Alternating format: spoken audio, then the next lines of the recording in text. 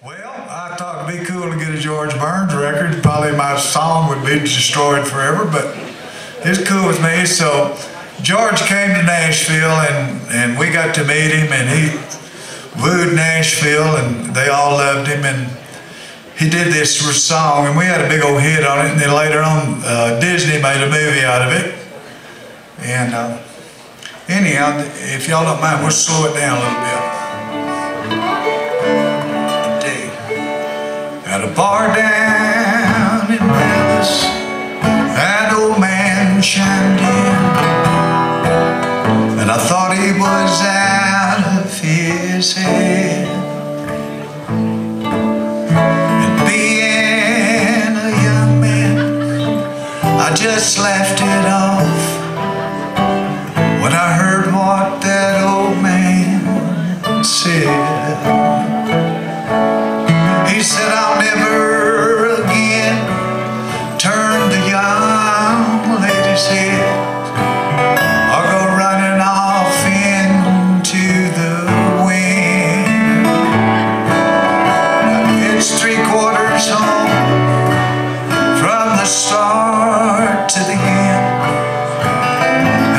Yeah.